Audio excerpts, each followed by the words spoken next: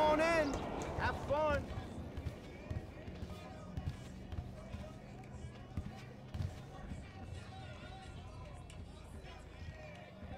Next up, gents, it's our very own sun-kissed blonde from San Andreas. It's Cheetah. You serious, bro?